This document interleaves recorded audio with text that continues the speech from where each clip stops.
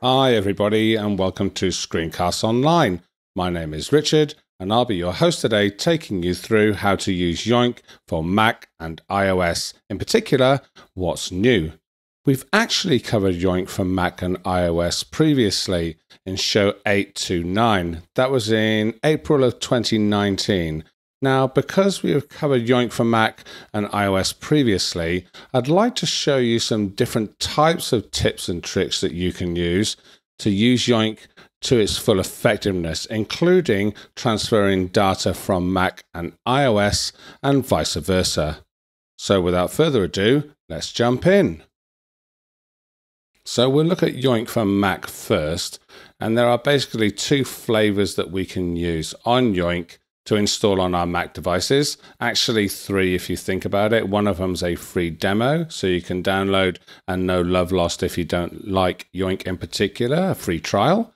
There is a Mac App Store version, which at current pricing is around about 14 Australian dollars. So, again, your mileage may vary in your particular currency, and a lot of you may choose to go down that route. Or finally, there is a website here called SetApp, and SetApp allows you to download an application onto your Mac that is essentially a wrapper you pay a monthly subscription for that allows you to install many, many, many pieces of software. We've got Bartender, we've got Clean My Mac. I have lots of them. It's not really a punt for SetApp in particular, it's another way to show. I go into here and it's got Yoink in SetApp and it's really a wrapper around so I can install lots of pieces of software. I've already installed it and I can open it directly in SetApp. So two or three flavors if you're going to be technical about which flavor of Yoink you actually wish to install. Now we'll move on to look at how to set up Yoink in its various incantations.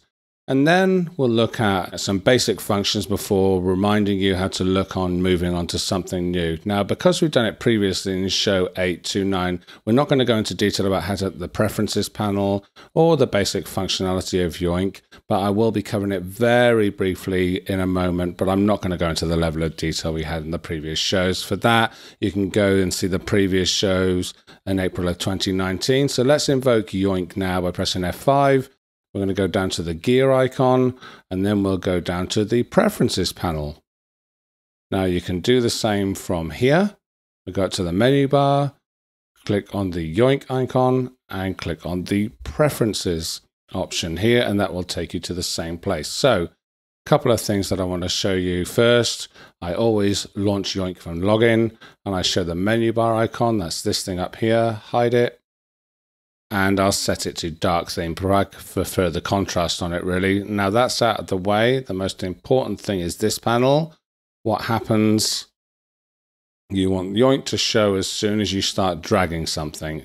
At the moment you can see the little animation here.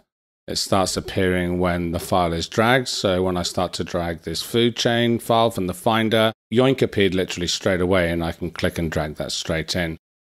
So that's the basic functionality of Yoink. You basically drag items into this little drawer and it stays persistent until you want it to disappear. And then you can just drag those items back out again. And the default behavior for Yoink is that it empties the drawer rather than copies items from the drawer. So that's when the drag starts. I can take it to when a drag starts at cursor position. So go back into the Finder window again and as soon as I click and drag, you'll see that Yoink Draw appears directly underneath this text edit folder, and I can click and drag that in, and then we put something inside there. Same again, Lorem Ipsum, click and drag, food chain, click and drag. And then the last option was when dragging to the edge of the screen. So by doing that, if I click, let me just hide Yoink, if I click and drag, Yoink won't appear until I get to the edge of the screen and then I can let go and it will place it within Yoink. That's just a quick preview of one of this week's Apple related tutorials from Screencasts Online. Screencasts Online is your premium source of Apple related video tutorials. All of our members get access to brand new up to date tutorials each week, as well as unlimited access to our entire video archive full of Mac and iOS related tutorials.